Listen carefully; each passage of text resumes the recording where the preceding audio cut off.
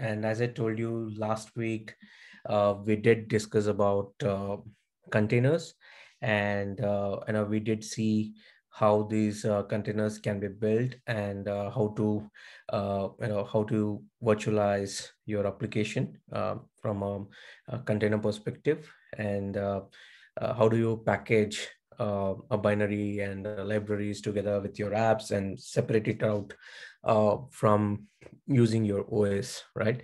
So given this background, um, given this background, uh, you know, I just want to, you know, you know, talk about the Kubernetes today.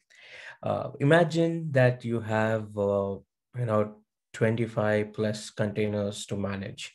You know, I it's you know we saw how how you can uh, deploy or run a container, but if you have to run some 25 uh, plus uh, containers and in different uh, nodes or with different virtual boxes or different uh, physical machines as well. It's very difficult to manage it. And given that uh, in today's world you might have very different kind of um, uh, environment where you might have different different services. Um, each services might have 20 plus containers. That will be a real difficulty of managing it so Kubernetes solves that problem. It orchestrates containers. Uh, it basically gives you an interface where you can, um, you know, where you can manage your workload deployments, and it is basically a, a abstracts. It abstracts your uh, hardware. It's a kind of an interface uh, where you go and uh, define what you want and uh, and then Kubernetes takes that information and uh, drives that information within the hardware uh, you have provided. So uh, it's it's nothing but a you know it's nothing but a high level uh, language uh, for application architecture. So it it, it is you know it's it's also makes sure that whatever information you have given or whatever data you have provided or the desired state which i say right you know the desired state uh, which you provide to the Kubernetes it takes that uh, state and uh, make sure uh, that state is maintained and it it always uh, uh, you know creates a kind of environment where whatever you have input whatever the you know information you have passed it on to the Kubernetes it has taken that information and uh, make sure it has deployed it onto the you know hardware which you have uh, provided. So uh, to give you a you know complete uh, overview, right? I mean, I'm anyways going to talk about the architecture and other things, but Kubernetes is a declarative uh, declarative tool. Um, it's not a imperative. When I say imperative, um, you know, imperative is where you tell uh, you know step by step what to do and how to do it. But uh, for from a Kubernetes perspective it is a declarative one. That means where you are just telling it this is the state i want and just giving it to the Kubernetes and it will just take that information and uh, it drives it. It on it on it only designs the way it has to deliver it and uh, everything it has been designed by Kubernetes itself. So you are not doing any activity apart from telling you please manage these things and it will take that information and manages it in the way it want to manage it. And uh, it gives you all the other information uh, to make sure that you have the clarity on the uh, deployment which you have done. So keep this in mind. It is basically an orchestrator. It is orchestrating the containers. The more number of containers it's easier to orchestrate using kubernetes. And it gives you an interface where uh, you're actually you know deploying these worker you know workloads uh, that is the containers. Uh, it, it is giving an interface to do it uh, and also it is abstracting the hardware itself. Uh, you're not even interacting with any of these hardware. You're not even managing it and you don't know uh, where these containers are running and all those things. You're just making sure that these containers are running and you just want to see that information. That's it. So it gives you an abstract layer for that and uh, you are giving a desired state. That means you are telling, uh, I want five of these containers to run. And you are just telling that to Kubernetes, and Kubernetes is making sure that five is running. Uh, if one goes down, it will make sure the uh, desired state is met. Again, it will create five uh, other state of the container. Uh, I'm calling it as a container for a purpose because I am not introduced you to the um, you to the concepts of Kubernetes, but uh, keep just in mind everything is uh, run as a container at the end of the day. Um, given the orchestrations, you know, there are a couple of elements of orchestration. Uh, this is the elements of orchestration. We will, in this uh, specific uh, session and the next session, I will try to cover almost all the uh, elements of the orchestration.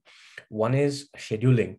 You know, somebody needs to schedule these containers and uh, there has to be a process to schedule these containers. There has to be someone who is taking care of um, uh, how to schedule these containers and where to schedule these containers and affinity and anti-affinity is meaning is um, you know you want specific containers to run in specific hardware um, you know specific uh, you know specific structure of a hardware or probably you know you need this this specific hardware for uh, this container so you want there are certain rules you can define there are certain uh, you know uh, rules where uh, you can say uh, these containers should run in these set of nodes or these set of uh, places, right? And or these set of containers should run together.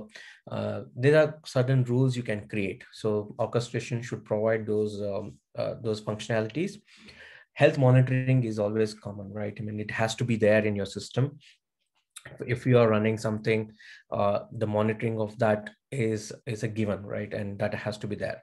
I did talk about failover. That means if you have told that you know you need five containers to run and there has to it has to maintain that five containers in the production. So this failover uh, in a failover system which we are talking about is if something fails that if one of these uh, container fails it has to make sure uh, the fail uh, the failed uh, container is restarted. So that is something which Kubernetes provides, and then there is scaling, and uh, this is uh, this is the main reason why we all use Kubernetes, right? And and uh, we need to scale our applications, and it has to be various ways to scale. And we will see in next session how to scale um, your applications uh, how how it can scale and probably we'll do a amazing demo as well for that. And there is uh, networking which is required. And that means how does e- different containers talk to each other? What is the various rules we can have? And how do we control uh, these containers talking to each other? Like not all containers talk you know we want to let everyone talk to each other right? I mean it's it's kind of uh, not a policy we want to run through. And then there has to be a service discovery. And it, i will talk about services uh, in coming slides and coming uh, demos and other places but somebody needs to discover uh, discover these containers. Discover these containers when in very specific way right? You know there has to be a way to discover these containers. There has to be a naming. There has to be some set of uh, rules uh, where how you can be accessed. So that is very important. And then uh, coordinated apps uh, upgrades right? That means how do you do a deployment of uh, next versions? How do you do a rollback? And how do you you know push new um, new code and uh, how do we new versions go into go in with the container? So if you have many containers which containers gets replaced which containers is not replacing and uh, in which no in which uh, you know infrastructure it has to replace.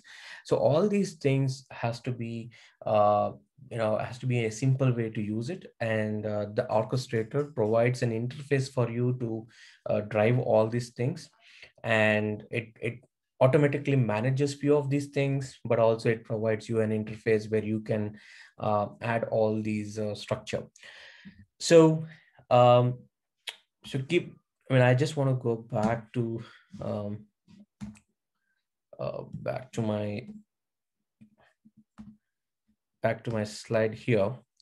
And i just want to give uh, i mean this is this is very important because uh, kubernetes is a little bit complex. If you come from a background of traditional uh, traditional production management, or if you come from a background of traditional production development and you know you know uh, you know pushing your code to the productions in a way it was previously done and you're completely shifting to a new containerization and then using kubernetes uh, there are uh, you know some of the concepts you need to understand and there are some basic uh, basic uh, ideas uh, basic terminologies which needs to be understood so just keep this in mind it is orchestrating it and it is giving you an interface do a couple of things and it is going to maintain the state which you have provided and these are some of the elements which we discussed.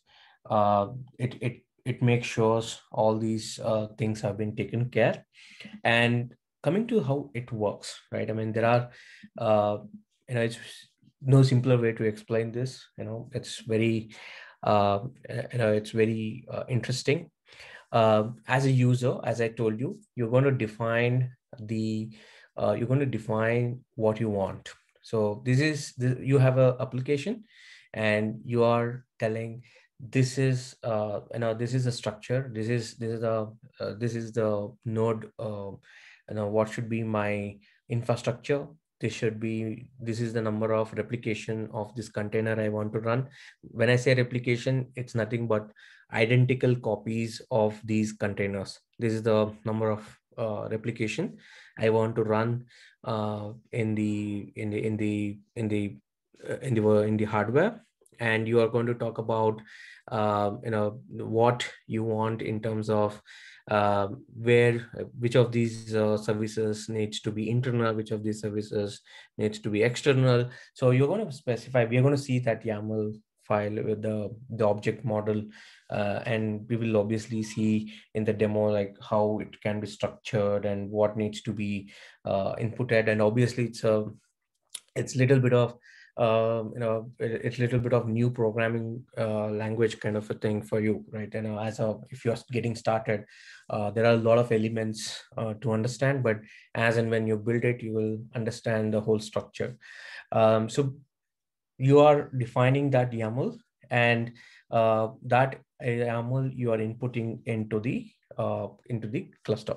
So if this diagram, you see this, uh, there is a master and there is a slave, and it's a, it's a very simple client. Any client server model, this Kubernetes is also a, a client server model, and there is a master and there is slaves. And if you see, um, in a in a master, there are a couple of components, and in and and in the and in the uh, and in the client and the worker nodes, there are a couple of uh, components and don't take it as agent nodes and i'll call it as worker nodes uh, just keep that uh, in mind. And um, and in the diagram you can actually see there are a couple of uh, services. And from the master node there is an api server. So if there is an api server there has to be a client which is accessing this server. So there is something called as kubectl which is uh, api endpoint. So you can install that on your laptops or on on the any of the virtual boxes uh, where you are interacting with the uh, interacting with the kubernetes cluster. So whenever you deploy uh, a kubernetes cluster you deploy master node and worker nodes. So you can add n number of worker nodes. You can attach uh, different worker nodes. If this one worker node goes down, you can actually create one more worker node based on the policy which you have.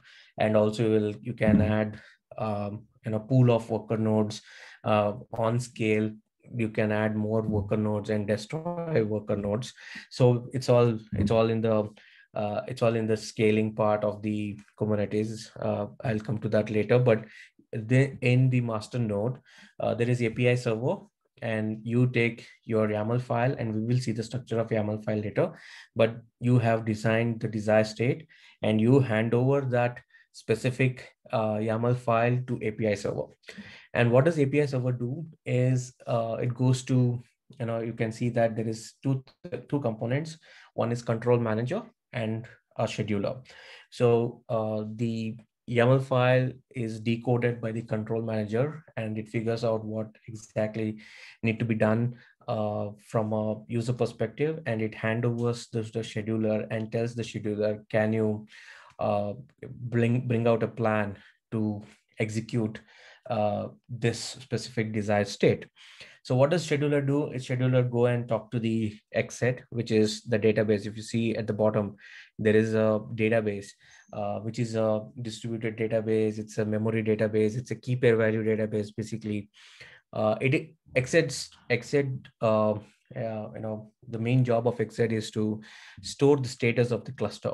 So everything uh, with respect to the cluster is stored in the etcd and etcd has the uh, all the details of this cluster and status of the you know running uh, containers and um, scheduler uses that information and bring us brings out a plan to execute uh, your um, your specific uh, you know YAML file or the desired state and hand this over to control manager and control manager talk to the worker nodes via the kubelets.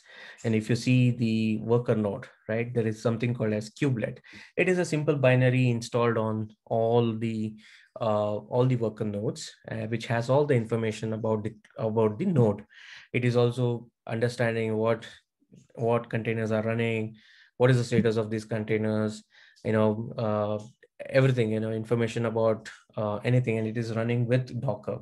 And uh, it and if you see that um, you know in the diagram right there are containers which are running in the in the worker node uh, so that's that's how control manager gives that handle to uh, kubelet. And if one of the container goes down uh, kubelet informs uh, control manager and uh, with, through scheduler it again figures out if uh, we need to run it in different nodes or it has to be in the which node we can run. Uh, and then uh, control manager again provides the information back to the kubelet and kubelet actually runs the the containers as per the plan provided by the scheduler so take a look at this diagram um, you are not doing anything you are just telling this is the state I want. Um, you know, uh, I'll just we will obviously I'll uh, after this um, you know we will I'll go through a simple example where we can understand this whole structure better.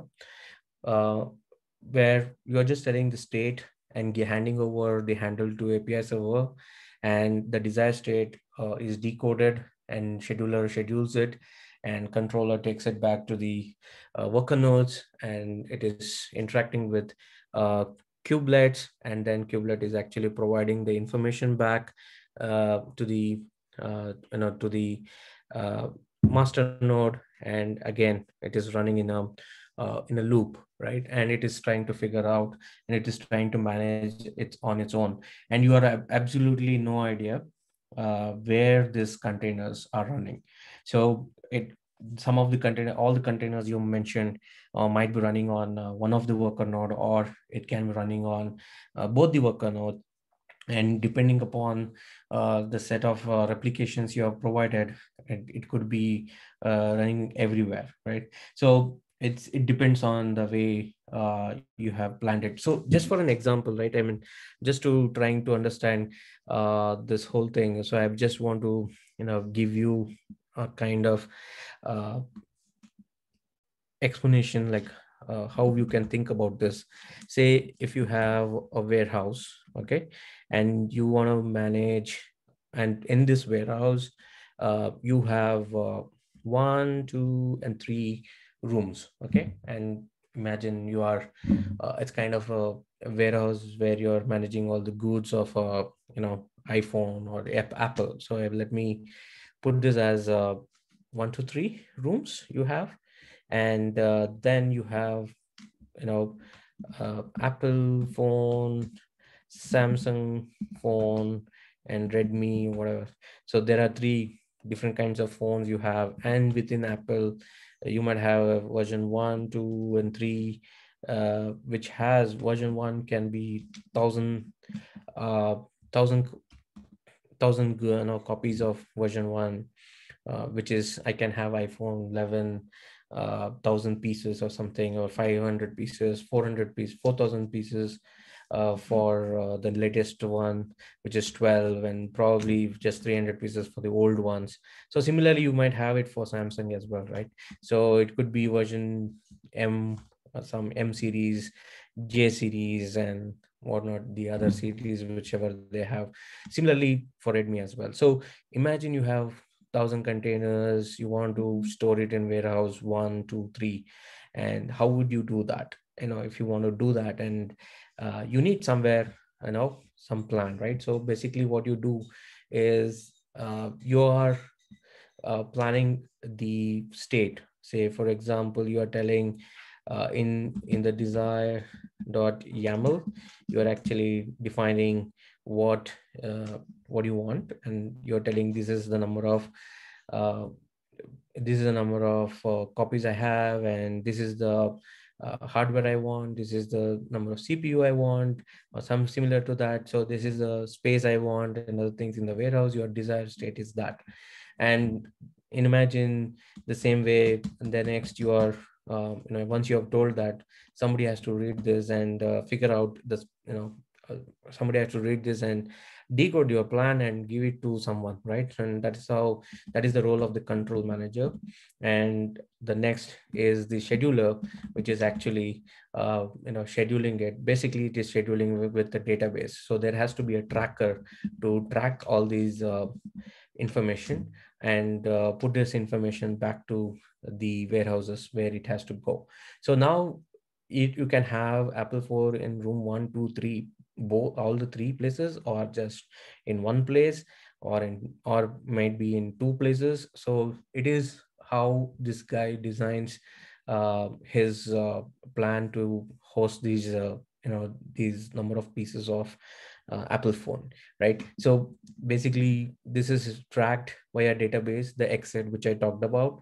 Uh, he could he he might be tracking it in Excel sheet, but it, it's if you if you take it in the Kubernetes uh, world, it, it is tracked in a in a proper uh, way in, in terms of database and it's a memory database so that it is always available and it's faster and uh, and somebody is actually uh, managing the whole process and making sure uh, they manage these set of uh, pieces in three different forms. And there is someone at these rooms uh, who is managing uh, the space. So for example in in one i might have 300 uh, you know 300 pieces of apple 400 pieces of samsung and probably 10 pieces of um, you know the uh, redmi. And somebody is managing this and somebody is seeing this. And if something is lost or if something has gone wrong uh, it informs the right set of people here. And it, it again makes sure that this is uh, filled. So uh, it's kind of you know you, you need to take uh, and this analogy with the Kubernetes it's it's the same. You know i just uh, wanted to you know uh, give you overview of this. Um, so uh, it's the same fashion it works. You know, there is um, you giving the desired state, API server taking, control manager decoding, scheduler uh, using etcd, gives it back to control manager, manages with cubes, kubelets, and kubelet is giving back information. So this is how Kubernetes work. And um, let me give you this link um, you know this is where you can actually learn all these concepts and also do some kind of hands-on uh, hands-on sessions and very wonderful series by Brendan Burns himself, um, which is there on the basic of Kubernetes. So uh, please go through this link and download uh, that specific uh, you know ppt uh, sorry the specific pdf file uh, where it gives you a path to learn. And i i just love this uh, day one's uh, Phippy goes to zoo. You know it's a couple of things i have picked from uh, the Phippy goes to zoo in my next few slides. Uh, just to give you um, core concepts right? You know it's very important to understand some of the concepts. I was talking about containers and containers and containers um, while I was discussing all the concepts uh, previously, but it is in a Kubernetes, uh, you know, terminologies and concept and the language, it is called pods. Uh, basically, it's a, you know, running container in the Kubernetes. It's a simple uh, set of containers, or it could be a single container. Uh, so think that it is, it's something called as pods. And it is a basic unit of Kubernetes, and that's that's the one which is always running. And these pods uh, can just remember it can be a single container, it can be a multi-container. So keep that in mind. And then there is uh, namespaces. Uh, namespace is nothing but a logical structuring of your uh, logical structuring of your infrastructure. So as I told you, right, you know, in a in a uh, in a warehouse one and then there is one room which i talked about. In that room you can actually logically structure your room in such a way that in in the left corner you want to put apple phone in the right corner you can put the samsung phone and and in the you know top layer or the other corner you can put the redmi phone. So you can actually logically you know create a plan or like that right? And similar to that in even in your infrastructure you can create a similar logical structure and uh, make use of uh, that uh, that partition. Okay? And services uh, i did talk about services uh, previously. Services is nothing but a method to access these pods uh, the you know workloads. You know it is way of exposing your workloads. How do i access so many uh, pods which is running which pod i need to access. So each pod is structured into a name and it has a label. It has been named after and it is part of a specific namespace. Um, so if you know do if i have to tell you in uh, in in the warehouse uh, in the room one uh, there is one uh, specific uh, you know namespace for apple phone and then there is in apple phone there is uh, you know apple 11 or apple 12 whichever um, is the phone version. Uh, that is where the naming comes the labeling of these uh, services which is running right? So then these the way to access it is where the service is defined. So and there are various ways to access and that anyways we're going to see it in the uh, see it in some you know some of the examples which we are going to have. So you know if, if you take an example you know i've just put a screenshot out there uh, where you know if you have a you know engineering namespace uh, and then there is a block service which is running and the the pods which is part of the block service is available within that namespace. And to access that each pod uh, you have to reach the block service and then you can access it. Instead of accessing the individual pods uh, blog service actually defines uh, which pods to pull out or which pods to talk to. So uh, this is also part of the scaling. So pods internally might have uh, n number of containers or just a single container. So this is a couple of uh, core concepts um, and and then um, replica sets so, so I did talk about uh, you know having identical copies of pods uh, or containers, right? I mean, pods is nothing but a container, as we discussed. So you know there there could be uh, identical copies of these uh, pods. So you want to make sure that you know these uh, the number which you have provided in your desired state is always met. So what happens is, say for example, you have put as a replica count four in your desired state definition. Uh, that means that this specific um, this specific uh, replica set or this specific pod uh, is maintained. The four number is maintained. If something happens to one of the uh, pod, there is a new pod gets created um, uh, in based on the available resources, of course, in the infrastructure. Uh, so scheduler actually defines uh, that where it can run this specific pod.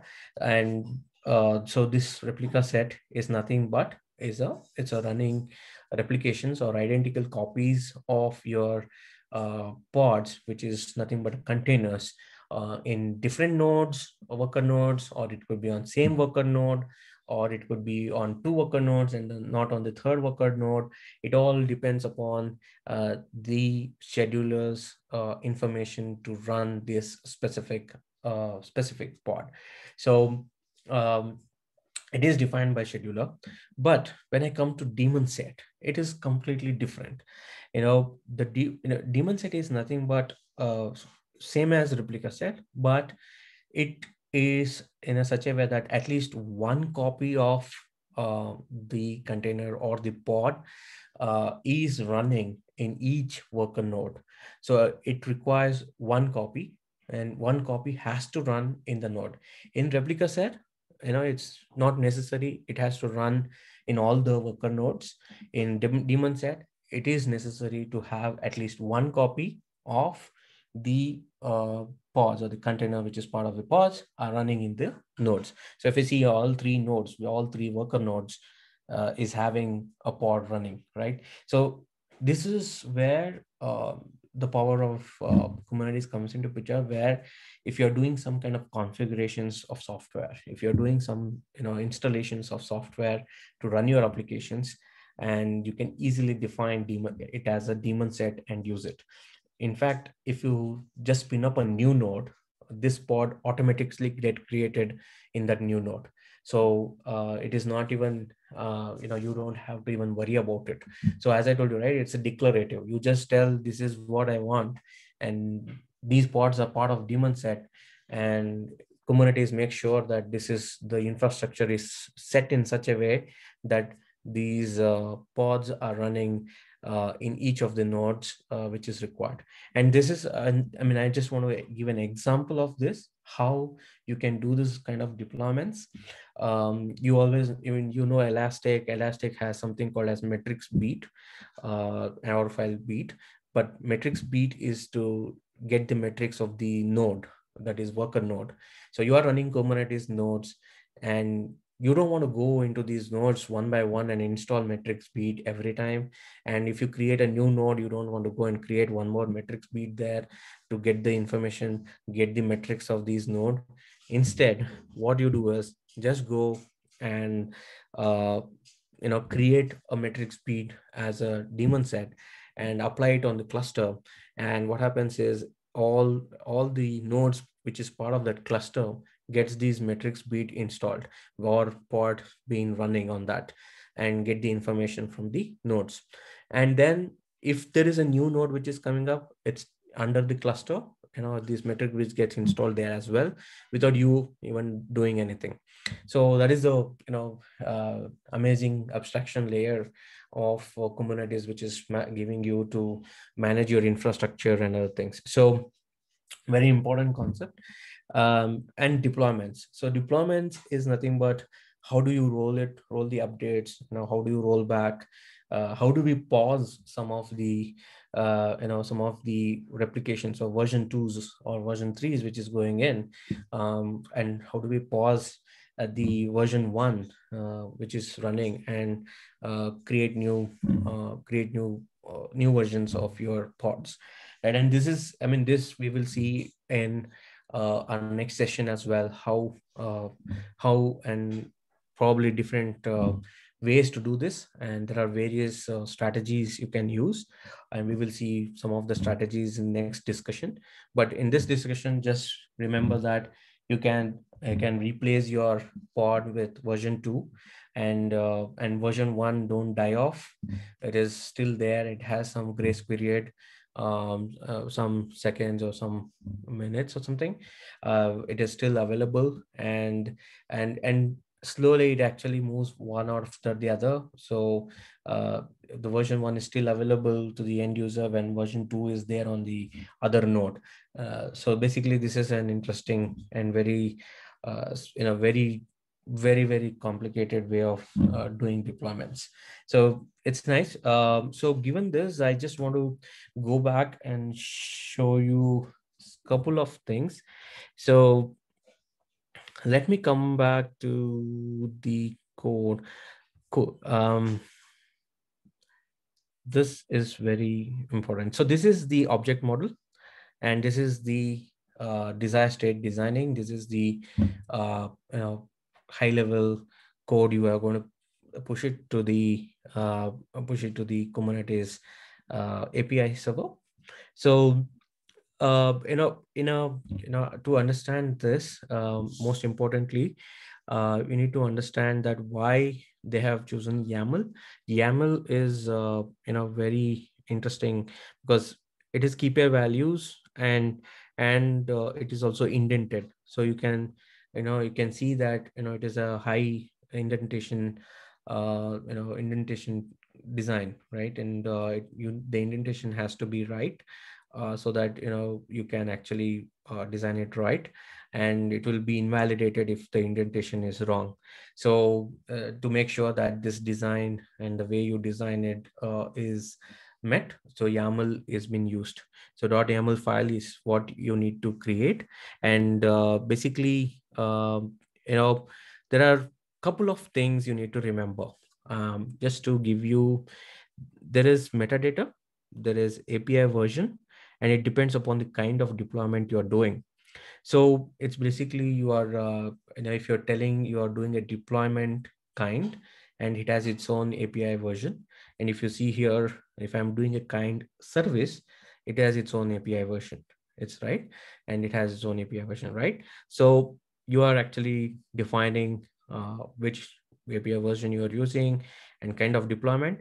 And metadata is just a you know kind of data meta information about the deployment you're trying to do.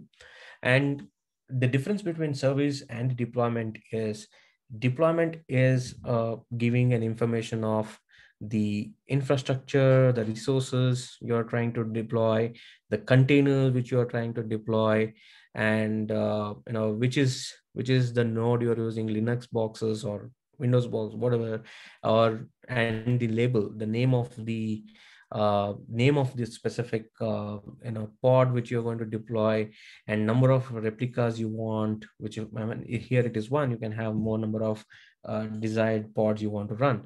And uh, you know a couple of things uh, you know you can uh, you know uh, you know you can add and metadata is just an information about the specific things so but different from service is that service is to access uh, the pod which is there.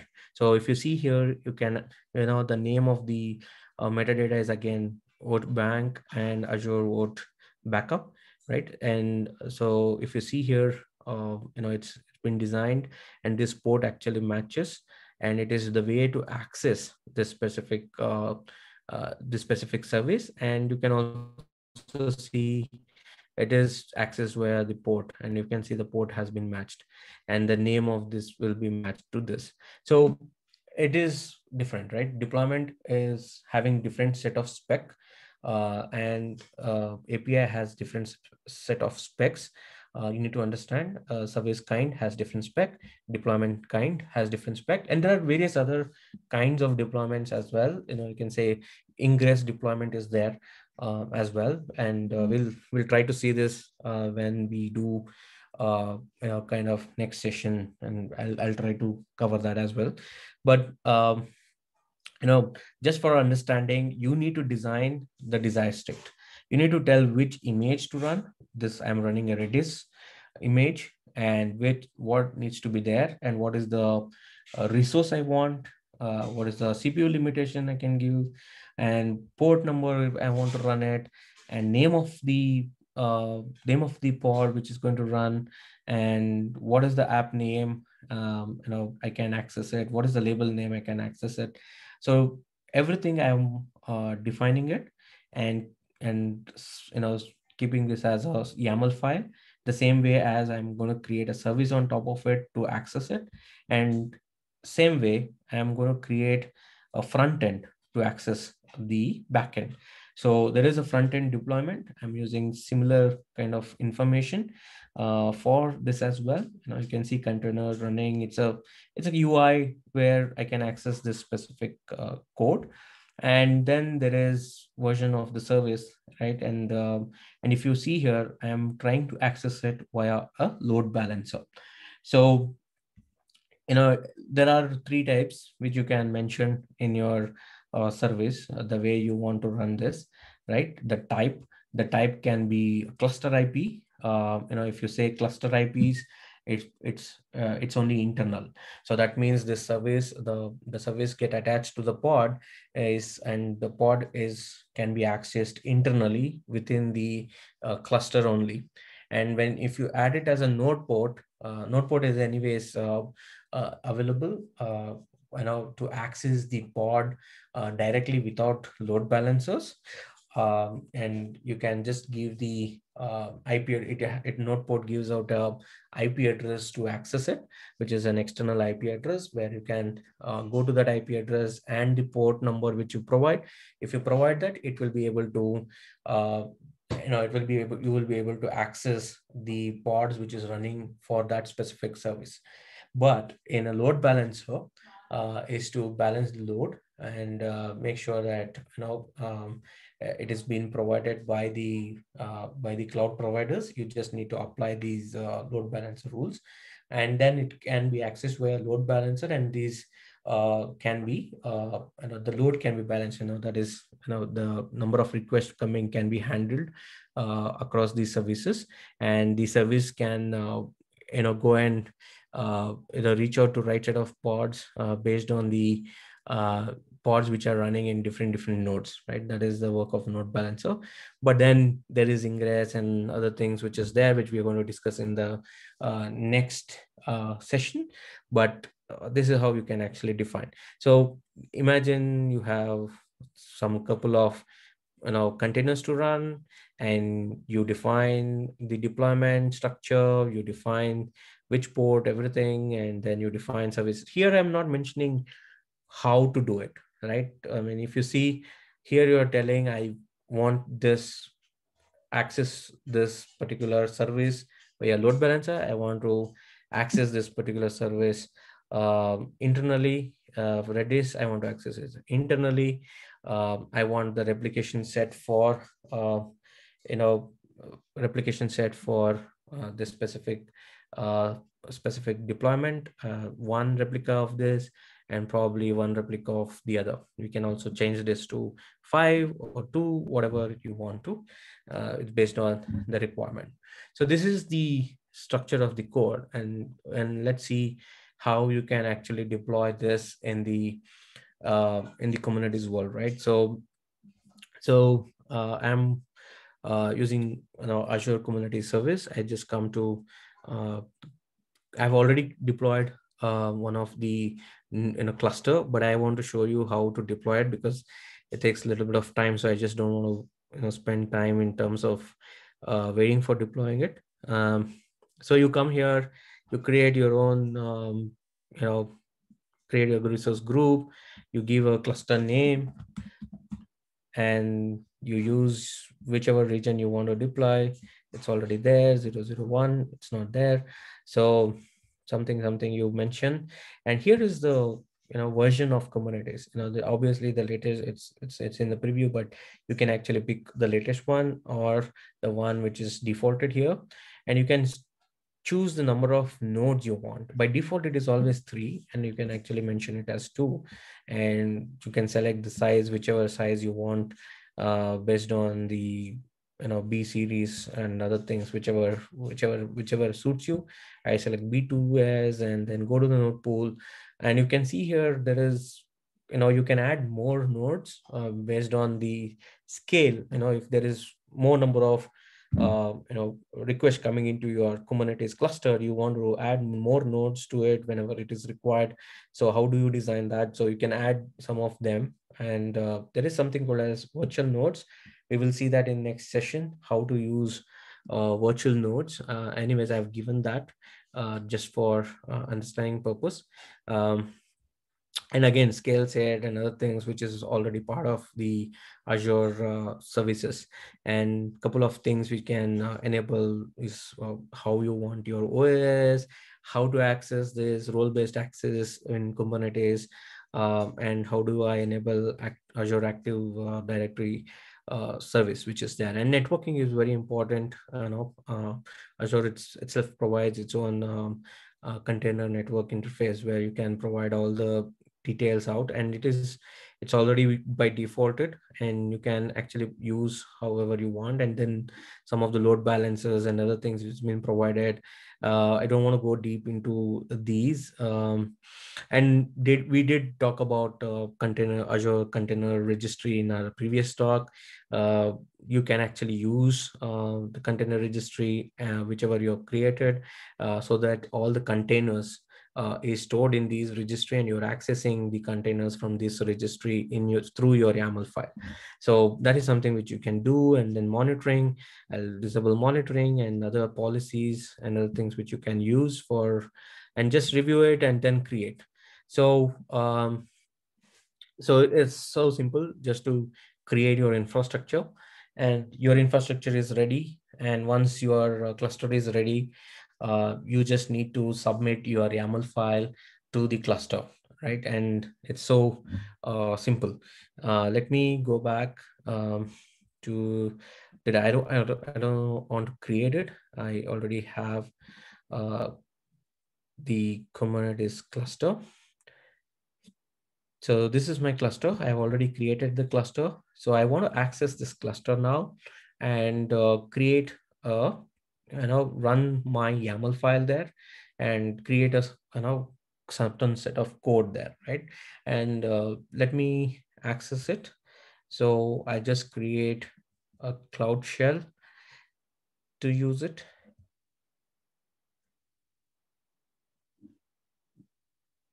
Create storage.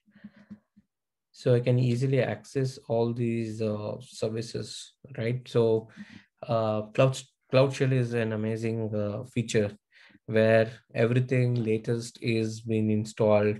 Uh, it's already have it installed, like Docker is installed, kubectl is installed. Uh, kubectl is is the client which accesses the Kubernetes, right? So it's the latest versions are installed. You don't really have to, um, sorry, uh, don't have to really use the service which is there on your laptop and install use your laptop for all these kind of activities. So um, i have uh, my you know cloud shell ready. So let me go back and pick some of the commands. So i need to get credentials of my uh, of my cluster. So i had created a cluster and it called it's called cube show. And i already have uh, i know i need to get the credential to run so it's basically an access uh, to run the uh, kubectl. So it's nothing but it's getting the access and adding it into my source file. So it adds it in my home. Uh, if you see that it's a configuration, just it's just a configuration to access my cluster.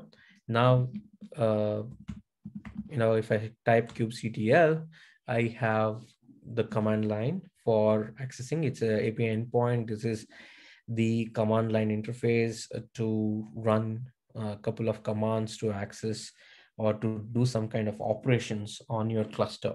So if you if you see there are many commands here right? I mean it's it's how it's again you know to understand all these things you know you need to go through a documentation which is here you know uh, which is good. And uh, it's a nice reference document. And uh, understanding of all these commands is a must uh, if you want to master the Kubernetes.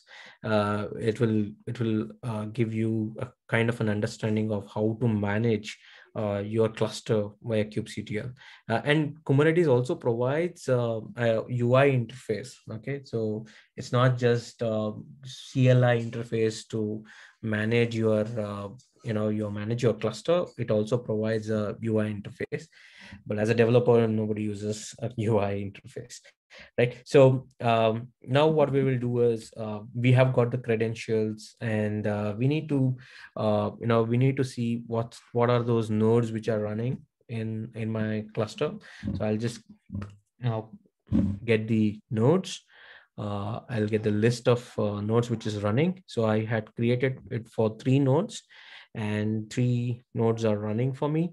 And then there is virtual node, which is there. And just imagine, keep this in mind for that for next discussion. Virtual nodes, um, if you see, uh, it's kind of a different, it looks very different from the normal nodes and it is virtually added. And, uh, and that's the beauty of, uh, uh of the virtual nodes, which we will see in the next session.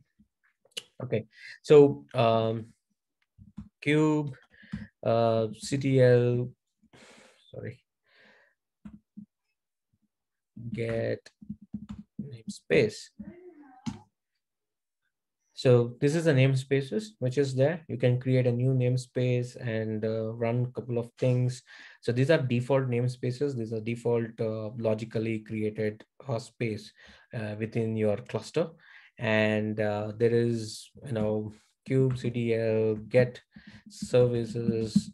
If I type, you know, there's only one service which is running, which is type of cluster IP uh, which is internal and uh, that is this is the service which is running so um, given this uh, we will go back and create a copy of uh, say azure OAuth right uh, we'll call it as a azure OAuth and then we will open this go this uh, file and go back and copy this YAML file there.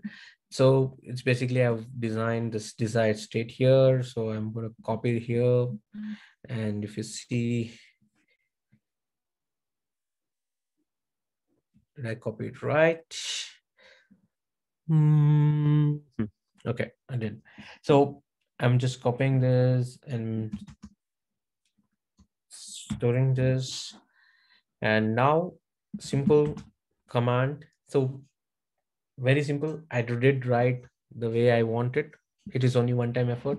And once i do this uh, all i'll be doing is adding new things to here but or changing these things but it's uh, just a one time effort. And uh, and then i just need to run that is apply this this state so i'm just telling kubernetes that go back and apply this, uh, you know, the state which I have, I want to run on the Kubernetes uh, cluster. And I'm just going here and uh, running this code.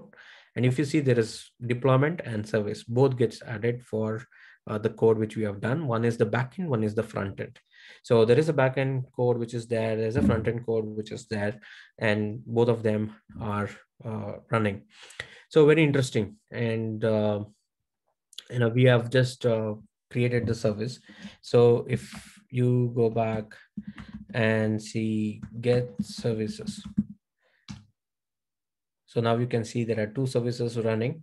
And if you see you know the front end we had actually added a load balancer to it and there is an external ip which is there. For the backend there was nothing added. It is added to a cluster ip if you see that there is a cluster ip what does it mean is uh, you know it's a type of cluster ip that means it is accessible internally but it is not externally available. So if you go to that ip address you, can, you cannot do anything uh, with that ip so uh, to access this uh, you know just to see whether uh, my application is running or not i'm just adding a watch um, let's see and then you can see that there is an external ip which is also there. And i just need to copy this and run this. Because I'm I can access this only through external IP. So so this is a, a simple app uh, which is routing app. So you can also access this IP address and uh, you know you can tell me you're a cat person or a dog person. So it's actually a 52.1 dot 154 52.154.255.178. So you can tell me if you're a cat person, you like a cat or a dog. Uh, I like dogs. So it depends on uh, your uh, interest. So so basically, if I keep refreshing this, or I think I don't need to refresh. I think if you keep adding, you know, clicking on, uh, if you go to this vibes and keep clicking, it probably it might show you show us live. Um, what is nice so so many people have clicked it so it's kind of uh, you know this is how you can actually deploy an application onto you know, kubernetes right so um, all i did was to define what i want. I didn't even tell which node you need to run. You know this is running uh, basically on uh, basically on different different nodes right? So if i have to give you this command, where is that? Get nodes. So i didn't i don't i don't even know where this uh, where this application is running in which node it is running.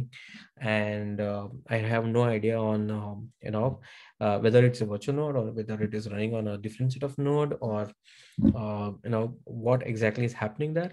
Uh, it is just a you know i just inform kubernetes this is what i want and i want to run uh, one on one front end on the load balancer. I this is the container which I want to run. And this is the replica set, I mean, replications I want to run, how many replications or how many pods I want to run.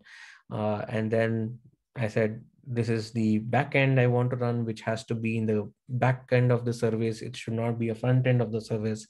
So I just told all this information. And similarly, I can even see, you know, um, kubectl get pause. I, I don't know, this, this is the wrong command. Um, so you can see, you know, the number of pods running and I have no idea where it is running. So, and its status also you can check.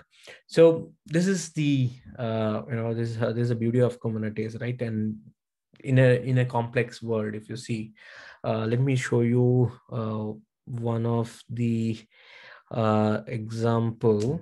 Um, sock shop right and yeah this is an amazing uh, demo for running github let me focus github microservice uh, does it have uh ta-da.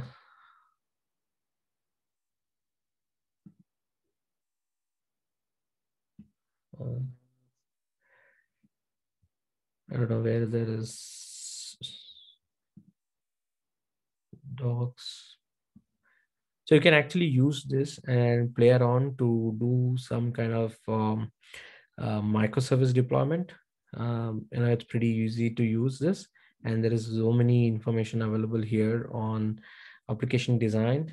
So, so if you have to do in this way, right, you know, there are a couple of microservices. You know if you see there are so many databases attached different kind of programming languages involved in uh, in designing this application.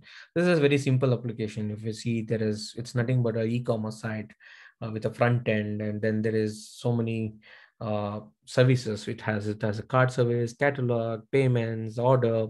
Uh, some of them designed in java some of them designed in go and it uses queue to manage stuff uh, so basically all these, uh, if you want to design and uh, you want to run it in a different, different uh, thing. So you would create different, different YAMLs for these and you're going to define, uh, design the way you want to deploy this in the cluster. So all you're going to do is to define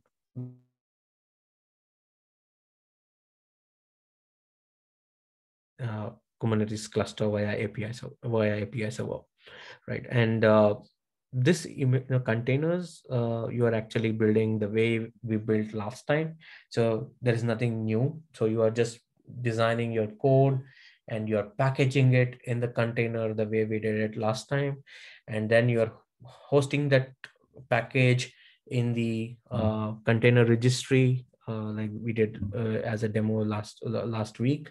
And then uh, you are accessing that package in this structure, this YAML file, and then uh, and the way you want to define it and the way you want to plan architect it from a replica set, your replica, you know, building that out.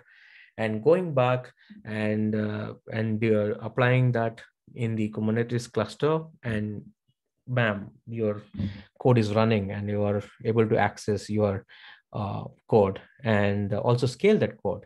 Because you can actually come back here and say you want to change this replica to different and then then go back and apply again.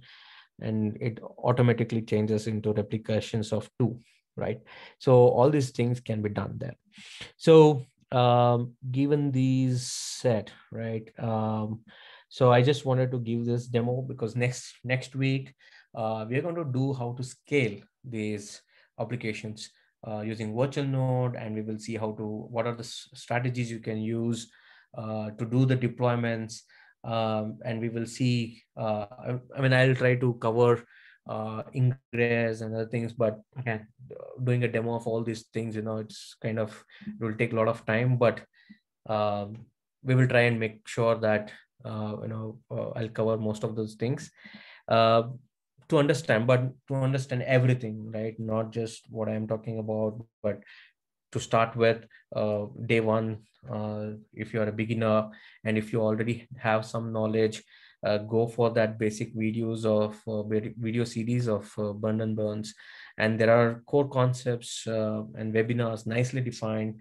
And then there are, you know, go into deep dive and uh, some advanced things, uh, which is required like patterns and the way you want to design stuff. I think this link will give you all the information. So please go through that link. It's a very well defined learning path by Brendan Burns himself, uh, who is a you know co- contributor uh, sorry creator of kubernetes he's the he's the first commit uh, in the uh, kubernetes uh, open source right so which is good so um thank you uh, i i know there will be a lot of questions uh, it's been flooding in the chat vivek oh is it yeah let me I, i'll take them one by one bit i'll help you with this oh last my time god there is huge. Like it's going on. I'll, I'll come with one by one. Okay, I'll, okay. I'll start at the beginning. So to give everyone a, uh, what do you say, a fair go. Uh, okay. Um, uh, Vivek, if you would like to keep it at the beginnings, at the starting slide, just to keep the uh, this thing, yeah, and go on full screen. So that I believe the video otherwise look a bit looks a bit odd if people start speaking because they, so that's why. Okay, I'll start with Dev Jyoti's question first up. So his question was that why does a kubelet need to ask the scheduler for starting a container? Why is this decision not autonomous for the worker? Why is kubelet need to ask the okay?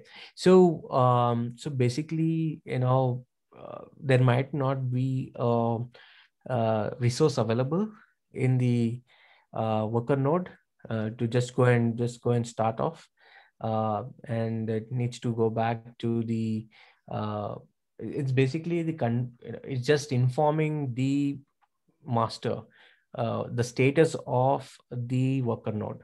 And master is the person who is actually designing um, you know defining what needs to be done right? I mean it, in any scenario if you take any any other world right um, uh, i could go back and start off my work but i need definitely need my boss also to know right you know uh, you know to give me a direction right? So uh, definitely in that in that analogy if you take um, you need to define you know the uh, master has to know and master is a person who's define who's designing these things. Um, you are just informing people. Okay. Uh, okay. Ne- the next question was a difference between kube proxy and kubelet and udham has been quite generous with his uh, sharing his knowledge for the community. So i'll go through udham's answers and you can add to it vivek. Sorry uh, uh the first... i didn't get the question actually. I'll i'll come to the question. So this, okay. the question was kube kube proxy. What is the use of kube proxy? And how is the kube proxy different from a kubelet See, kube proxy is a way to access your uh, node, and kubelet is uh, is a status. It's a binary where it is uh, collecting all the status. It is creating containers. It is restarting containers as well for some of the you know places, right? You know, if you see, uh, it is getting the status of the container. Um, I, will I'll uh, I will cover kubelet in detail in the next session uh, you know, uh, with all the kind of operations it does. And what are those operations uh, it covers? You know, getting logs of the container and getting the details of uh, the container running or not. What is the status of the container? Container has different statuses, uh, and all this information it collects and uh, provides it back to the master, and master decides what needs to be done next. Okay. Uh, there's there's a view that kubeproxy is also responsible for communicating between the different pods and services. It also takes care of the cluster IP, uh, the node port Correct. service to establish communication. And uh, in whereas the kubelet is responsible for updating, uh, running, and uh, what do you say? Basically, running, updating the status or running the worker nodes. Uh, kind of the utility which the master node or the Kubernetes master node is using to talk to the worker node. So it's like basically the communication you can say gateway some i mean uh, it's a client server model and some client has somebody from client has to talk to the master. Mm-hmm. so yeah. uh, and this is the binary which is doing that. And uh, it is informing information giving the information. And also it is managing a couple of things within the uh, cluster. And there are actually these are this is not just the components of the worker node. There are uh, more components to it. Uh, there is fluentd uh, to manage the uh, logs of the mm, worker yes. node and yeah. there is and there is uh, something called as um, uh, service d right you know where uh, you know to always keep the kubelet running you know kubelet should not go down right mm. so so kubelet kind of like a monitoring of the kubelet yeah kubelet should always be running. So uh, those things are already there. I mean i mean uh, it's an in-depth of uh, worker node yeah. which i have not gone into because that will be too much of discussion. So you can actually figure that out uh, once you go into uh, into the internals of uh, how you how you can deploy this cluster uh, how to define how to design this cluster without the cloud provider. So if you if you see the um, you know uh, if you see the deployment of uh, Kubernetes cluster without having cloud provider you know designing it for you uh, you going and setting it up i think that is where it will give you know you will understand all the concepts of uh, what all things is required to run this Achha. it's complicated yeah another question are you planning to touch upon helm in the next session by any chance uh, no, uh, okay. because uh, I'm talking about the scaling and it, but we can do a session on Helm separately if you want. Yeah, because the, there's a question from one of the audience where uh, Deva is like, where the Helm comes, and I, I have a background, but I thought I'll just check in with you. Um, Helm so is a way to you can package all these things and uh, run it as uh, it's nothing but a way to do the deployments on the Kubernetes cluster. Um, and you can actually package it and share that package it's uh it's not as of now i'm just packaging the i mean running one yaml file right but as if I, I showed you in my microservice architecture and there were so many things you can actually package uh, so if you package it and want to run it uh, helm is actually the way to go and yeah. we can actually discuss that you know if you want we can do a separate session on helm uh, and then you know uh, obviously understand how exactly Helm works. Yeah, I mean that's like building upon what we have learned so far. Yeah. Uh, uh, following up on the same question on around the you know packaging, uh, there was a uh, question from Ravindra, which is that would, would it be better to pull put all the different like the service and the backend and the front end in a single YAML file or separate it out? Um, I mean, it's a kind of um, uh, the way the architecture you want to drive. Um, so backend, front end, uh, this is a simple application. And uh, as I showed you the code, uh, let me see. You have it um, open. Code.yaml is already open. No, I I will show you most complicated one, oh, uh, which is there in my code. Ta-da, it's in. Document code. Where is that? Microservices is deployment and there is Kubernetes and there is uh, yeah. So so if you see you know they have actually defined it in a complete uh, YAML, right? The complete demo is there in the YAML file. But if it, it is always good to separate it out for your management and uh, use Helm to package it in a right way. Mm, yeah. Okay. Uh, there was another thing. Okay, this is uh, I have pasted the link to the uh, Kubernetes 50 days thing that's already there with the audience. So they can pick it up yeah. from there. That uh, there was a question from Nagendra sir that if I'm going to design these YAMLs, and as you showed that they can actually get quite big, so it's the better practice to divide them. Is there any editor or UI which helps creating these YAMLs, given that there's a particular syntax and a particular format which has to be followed? And there was a suggestion from Visual uh, Studio. Uh, you have extensions. Yeah, Visual uh, Studio extensions. Yeah, you have extensions to use that. YAML, uh, you know, YAML extension is there. In fact, it gives you if there is a if you are doing something wrong, it is actually showing. I mean, if you see my, uh, let me share screen. I'm actually on mobile data now. Some internet issue. so if you see the, it's coming up, Vivek. Just give it a moment. selector if you see this right? And it's an easier way to do it right? Uh, no and, and we're not able to see it unfortunately. Oh. yeah now it's come up yeah. You can see this right? Yeah, so yeah. if i go on on hover it right i can see yeah. couple of things right? You know if you hover you know it, you can see. And this is e- easier way to design it. You know if I, I can say i can close these things. So you don't need to really see all the things. As i told you it's one time effort. And if you see there is i've closed all the things and i've only opened the deployment one which is required. And i just need to go back and edit these things. Hmm. okay. Fine. So that was uh, uh, okay. That takes care of the question around okay. So the question around uh, the daemon set is i think there are quite a few questions on daemon set that uh, set applies all namespaces as it is at node level. Is that a correct understanding? Uh, no, you need to give. You need to give. Uh.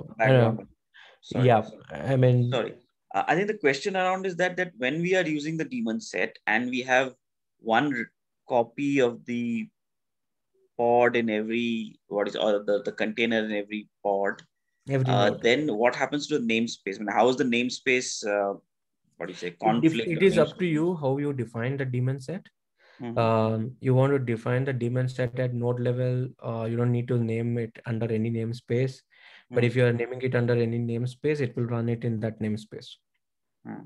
right i think that's what sanjay also mentioned the daemon set is used to run or run pod in all nodes i think if you create a daemon set with a namespace then it will run it a, in the same namespace in all nodes yes and so on and so forth yeah Great, thank you.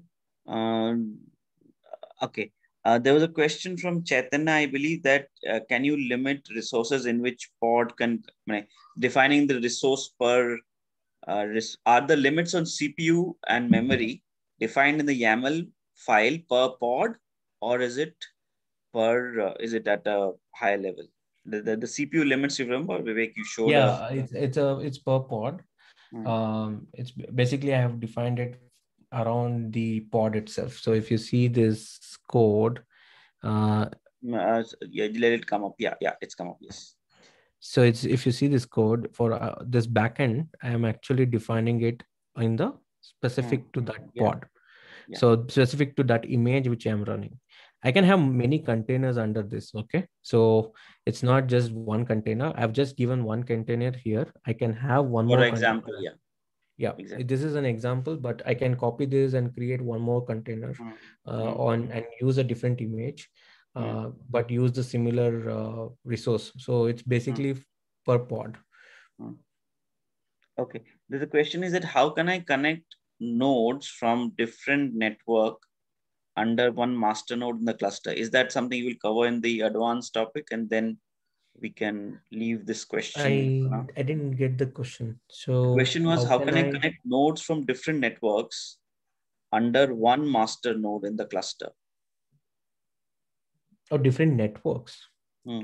Uh, yeah, I mean, I, while you are defining the cluster, the network is defined. So I don't know whether you can do it. I'm, I'll have to go back and check. I'm, I have mm, I don't know hmm, yeah, how can you connect mm, different nodes. Uh, I have uh, one second. Is it? It's from Kiran. Kiran, can you unmute yourself and probably share your question again and give a bit of context around it? Yeah, sure. So I'm planning on uh, setup. Uh, I'm planning on making a setup around distributed processing using Kubernetes, right? Mm-hmm. So can I connect a worker node from a different network under the same master node where uh, multiple worker nodes can connect from different networks? Okay, is it possible? That's a that's a good question, but I've I'm not tried it before. So, Kiran, when you say different networks, what do you mean by that? Are you talking about, like, say, your one worker node is an on-prem and another worker node is an AWS and another third one is an um, GCP? Yeah, is yeah. that kind of a situation? That's exactly what So I'm trying to um so you can use that way with the virtual nodes. I did talk about Okay. virtual node if you remember, um, which I'm going to cover in my next topic. Uh, you can actually create a virtual node to your master node uh, and then use that virtual node. So basically the way vir- virtual kubelet works, let me show you this, right? Um, sorry, my network is so bad. I'm on phone network. Yeah, yeah. I'm not able to type though, but you can see this virtual node here, right? Yes, we can. Yes. so yes. this virtual node, you can actually install uh, your this virtual node binaries uh, in your um, uh, wherever the other network is, and you can actually connect that to the master node here. So you can use it in that way. Okay. okay. You can definitely use virtual nodes. So I think probably basically you're trying to do a distributed, right? You're trying to do a distributed. So Yes. ultimately, what is there on the virtual node is nothing but the um, you know cube uh, kubelet, which is there, right? And ultimately, the worker node is run through kubelet, and you install kubelet wherever you want uh, with the uh, virtual node uh, act you know virtual node binaries, and you connect that with the uh, virtual node uh, connect with the uh, uh, connect with the master node and then you should be able to use it Acha, uh, a question here, Vivek. So the virtual Okay. So can- how can I connect that virtual node? how, how do you connect virtual node we, we will see that in the next session uh, i'll uh, anyways i have a demo for that uh, there i mean obviously it is again defined here in the in the, your yaml file uh, how you can uh, how do where do you want these uh, containers to run uh, in the virtual node or in the, your node right where you know just to give you that information here is the node selector right you're selecting a node telling linux box Yes. other things there you can actually define you want virtual node and all the stuff Okay. i'll show you uh, that in demo next And time. any network challenges I need to take care of?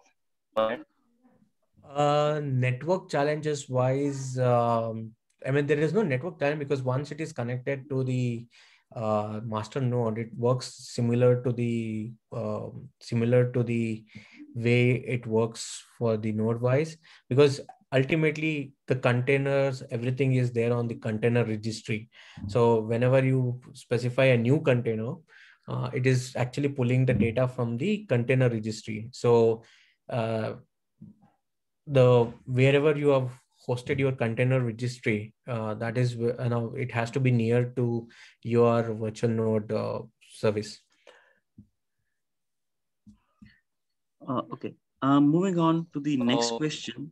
Uh, eh, okay, sorry, Chaitanya. Does it answer your questions or you still have something? Probably because we can do Yeah, one no, thing. there is- Uh, what, I'll what I can come- give is uh, I can give you the virtual node uh, you know, documentation. So you can actually, f- it, it's called virtual kubelets. It's an actually CNCF uh, project.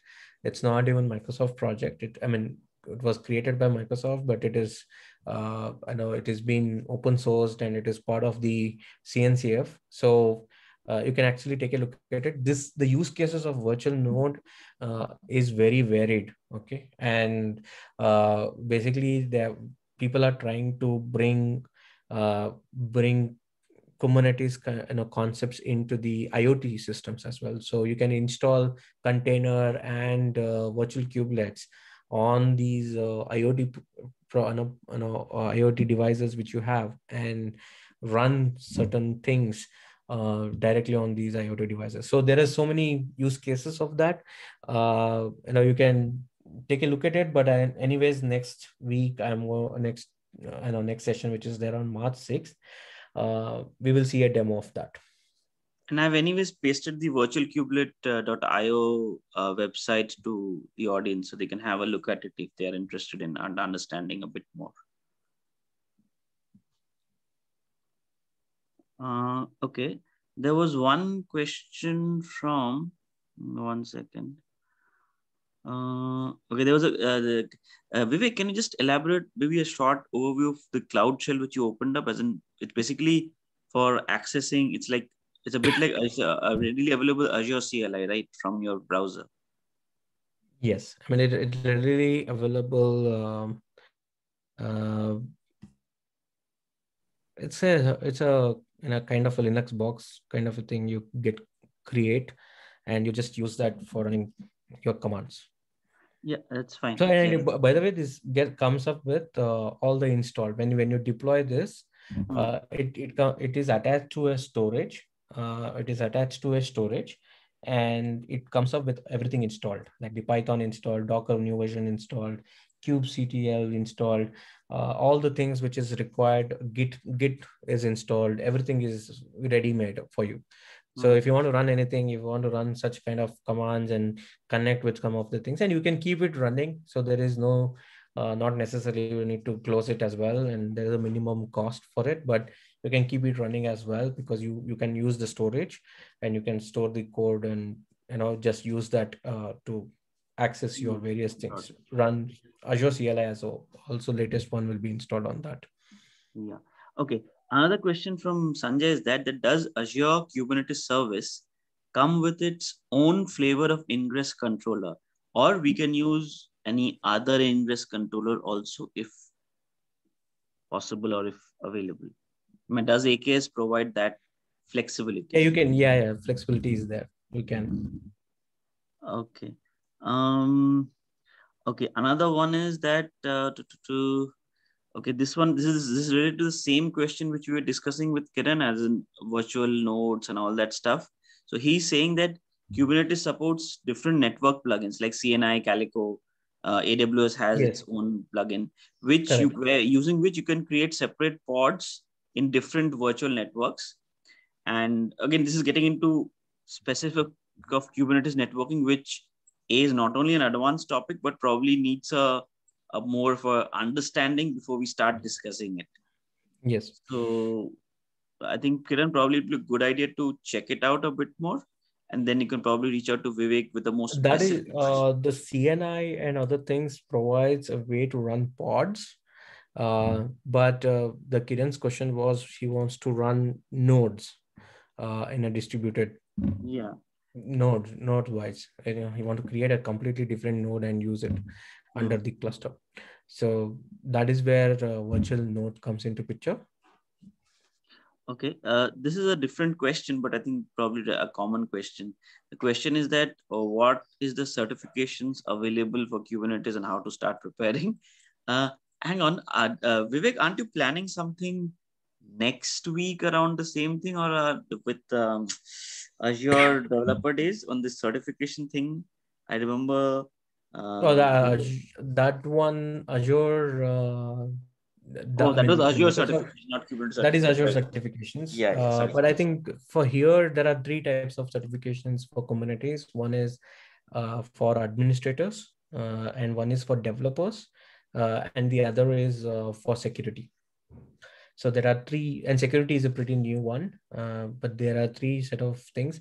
So as I told you, uh, to start with uh, the certification and other things, the best way to learn, which I've heard from various people who have done certification, is that you know uh, they need to go back and uh, try and deploy Kubernetes the hard way right? And uh, not the easiest way like I have deployed. I go to cloud and I just select some buttons and say deploy, and I have the cluster ready with all the things, networking and all the things is ready.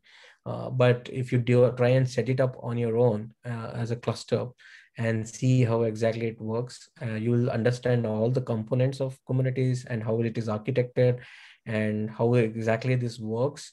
Uh, and after that you know you can uh, you know understanding the way you want to define these YAMLs and manage these YAMLs uh, and also understand uh, some of the problems right? And what happens in uh, pod life cycle right? There is a pod life cycle you know it can be running state it can uh, be in a different state like it is still says executing and all those things. So there are life cycles of pod. So if you understand all these things right and you can easily go back and write certification. Uh, but i would you know go back and see if uh, you can do couple of courses. Uh, i think that is that will help. Okay uh, if you're planning a, to take certification yeah. so. There was a question around the sock shop so i've shared the website url people wanted to know what the github link for the microservice application so that's done. Okay um to there was another question again on the same lines of around networking where can the master kube master be in one cloud control a worker node which is under a different cloud provider and whether it's a practically valid scenario again getting into Kubernetes yeah, networking. I, am not. I'm never tried. Yeah, no, no. And actually, the point is, these are like edge cases which yeah. most people would not have tried it out. Yeah. And uh, and and it's a kind of. Uh, I wouldn't even suggest that kind of cases because see if you want to run some, uh, as a master controller scheduler everything uh, it should be at one place given the security given the network issues uh, various things right so it would be good uh, no here i would just slightly digress uh, vivek for a reason is that for whatever reason some enterprises are very interested in this and which is where uh, products like um, there are some most of the cloud providers are doing something on these lines. So like AWS Outposts or Anthos. No, you can, you can definitely do it. You know, do it. I mean, I would suggest not to. So that yeah, is no, I understand what you're saying. The reason is that I, the reason is that what you're saying is that network delays can create weird behaviors and applications which are completely otherwise not possible and very difficult to even figure out or address. Yep. So that's something which uh, a lot of people don't realize it. And for example, even the simple something as simple as when we have active and passive data centers, there's a millisecond or a microsecond delay between them and syncing information. It can lead to weird behaviors. So if people have not seen it, it's not. Uh, there are challenges doing multi-cloud uh, Kubernetes clusters for sure. Okay. Yep. Uh, another question from Sanjay is that there's does Amazon, uh, sorry, Azure Kubernetes Service support Istio, which is a service mesh by default, or is there another service, any other, you know, other service mesh service available in Azure Kubernetes Service? Yeah, I mean you can use Istio, uh, and there is uh, Ingress, which is already there.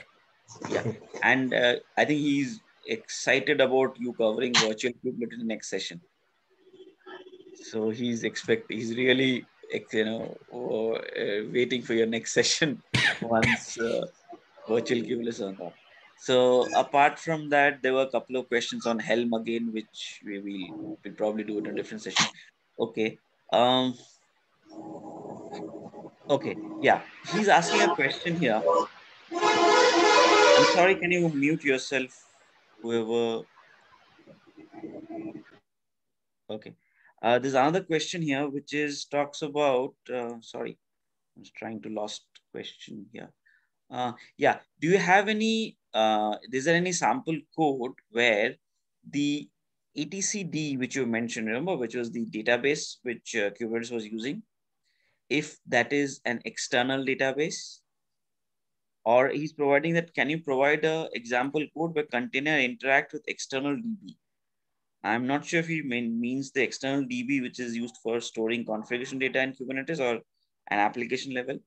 But uh, yeah, I, I, mean, I think that's not possible. I mean, like it's second comes back to edge case though. Uh, okay.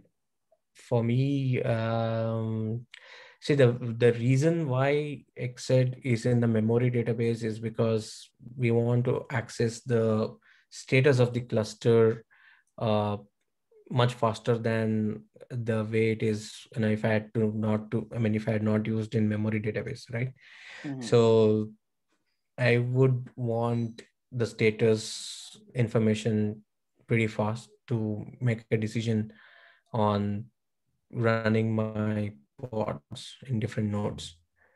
I think that way uh, that way i would keep it on same place. Hmm. okay fine. Uh, okay another question. This is an interesting one. That uh, in case say there is a challenge with uh, you know the yaml or you know we make there's a human error. So what is the best way to debug if there are challenges with deployment? What are the tools or frameworks or anything available? And does kubernetes how do you debug a deployment challenge? That's a question from sumant which i think is a interesting one. Yeah i mean obviously the way we there's no easier way. Mm-hmm. so we'll have to figure it out with our logs with our you know prometheus or what, wherever the challenge is coming from. I mean it if it is a uh, you know the error if it is human error in terms of indentation and other things you can easily figure out via visual studio. Mm-hmm. uh, and if it is uh, if it is something which you addressed the wrong names and other things some errors will throw up. If you're running uh, uh, if you just go and apply in the kubectl and it will some error will throw up. Um, but if that is something not logical error uh, i mean not the you know uh, not the indentation or the naming references errors. Uh, if it is something uh, application wise and other things so then you will have to debug it in the norm way like in the logs and your uh, you know distributed tracing um, and metrics other things which you usually do.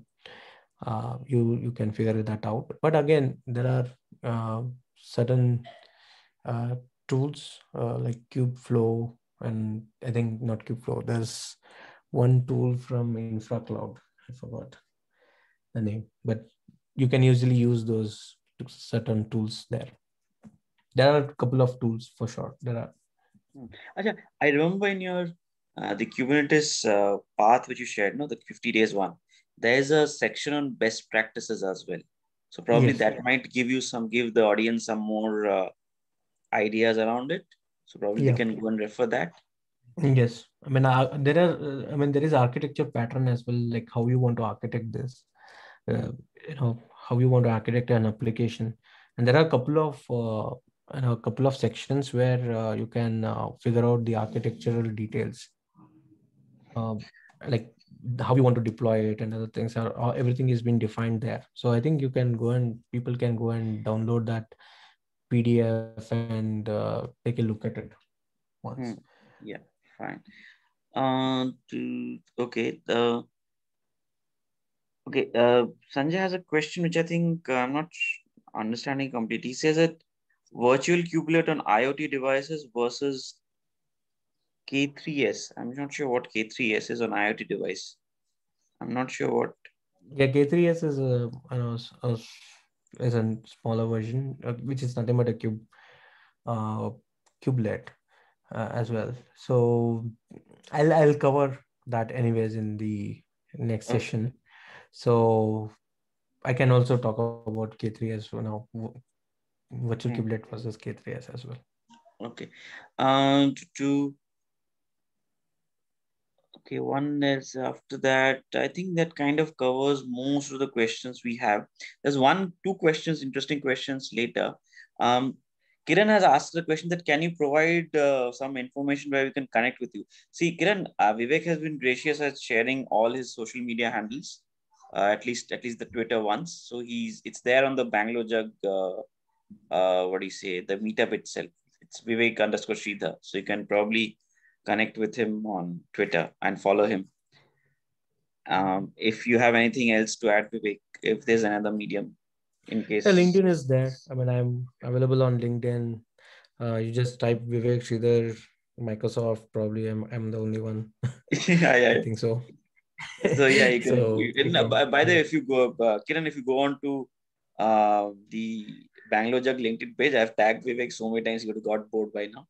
So he's there in every goddamn post we have for the last two weeks. So um, sure. Yeah, and uh, okay, this is a question from interesting question from Ravindra. He's like, and I think this is a question which I would prefer the audience also to give their views. Is that with your experience around Kubernetes, what are the difficult or challenging parts of Kubernetes related tasks in real world projects? So basically, when say an organization is going to Kubernetes or they are there, so what is the challenges getting into the Kubernetes world, and what are the challenges remaining in the Kubernetes to be remaining in it? So that's a, and I, that's a very very good question, actually. Um, there are, I mean, the challenge is you're completely uh, if you're moving from a trade if you're start getting started with Kubernetes, it's it's easier. But if you're moving your applications from already available applications to Kubernetes, and uh, that challenge always remains, and it's still you know it's still not very friendlier to developers. In fact, right, and it's you know nobody's we nobody's addressing the development challenge there. Like how do I uh, how do I have these uh, cluster ready with developers, right? I know how can I a developer use it in his environment uh, to run these things. That's where K3 and other things can help as well. But uh, but there are challenges there, and uh, overall understanding of uh, Kubernetes uh, is a challenge if you come from a traditional mindset. Right? We we as a developers from last 15 years working in a traditional ways uh, we have been introduced into Kubernetes world. How does most of these things get converted into know, Kubernetes world is is always a question for all of us. And uh, I you know the more I read about Kubernetes the more I work on it, the more I do hands-on, I learn so many new things about it. Um, and that's the that's the crux of it, I think so. Um, uh, understanding it is little bit a uh, little bit difficult for all of us. Uh, probably uh, more and more if you go do hands-on, probably that will give you uh, clarity on the on the way it works and the way you can use it. Um, and there is no much documentation as well. Uh, there are a couple of documentation, but there is again now somebody talked about you know running uh, in a distributed way the you know the nodes to be installed in a distributed way i mean there is no such documentation. I have not seen that or i have not figured it out. So now it's kind of a question where i will also go back and you know read about it. So you'll keep learning these new things there. Yeah there's quite a few interesting thoughts coming on there. Uh, uh there was a question on uh, I think uh, the, the couple of questions on you know as a as somebody who's starting off and you know where uh, basically uh, there's a question from someone that he doesn't have any any background on containers and kubernetes. So i believe for kubernetes the learning path which uh, vivek has shared is extremely good because it starts from the basics and slowly builds on it. And uh, then uh, a lot of other sanjay has again shared a couple of links on the internet where you know they, you can start off with the basics of containers and other things so because yeah, I, I understand the the general question from the audience is that you know how do I get into the world of containers? Because it's it's not like a there's a standard defined path and there are edge cases which you will come across more often than not uh, when you're trying to you know address this. So my, my um, only two cent here is uh, you know go back and uh, go back and uh, you know spend time in terms of doing something hands on like build yourself build an application um, and containerize that application. If you're well versed in java take that java spring boot uh, application and build it in a, in a traditional way build it in a traditional way and converted that into a containerized application and take that containerized application to kubernetes and try and scale that using various uh, various uh, uh, parts of the Kubernetes like auto scaling, uh, how, you know, node scaling, pod scaling, which is there, which we are going to anyways talk about it next session. But you know, you can obviously play around it. Uh, understand containers. Containers is very important uh, because if you know containers, then you can orchestrate it. So if you are getting started with uh, you know getting started with container world don't go jump into kubernetes go first and learn containers and then jump into kubernetes uh, you know via the 50 days uh, into kubernetes uh, very good sessions from Brendan Burns there uh, which is listed out uh, you know easy way to understand he himself uh, talking about uh, how exactly this works and what is uh, each and every aspects of uh, Kubernetes cluster. So it's very nice. Hmm. Okay, Vivek, a request for you that if possible, in the next session, could you just add one slide on the, uh, you know, if there are any projects, open source or proprietary, which uh, look uh, into the, you know, the monitoring and tracing aspects of Kubernetes containers, because there's a question is coming multiple times in the chat, like how, like, in, if I want to do application debugging, then remote debugging is not practical. Then uh, this Sanjay is referring to a project as telepresence or Skaffold. So basically, probably a, a one slide on the available tools which can do which can help with debugging in Kubernetes. Yeah, definitely, I can do that. Yeah, that that, yeah. that is that's like a, a starting point for the audience. to find there are these tools, and then you have to go and explore them because see, we can't get into each tool in detail on in one session. That would be unfair on both our audience and the uh, speaker. So it's more like, yes, this is the basics and you then let you can go and explore a bit more. Okay.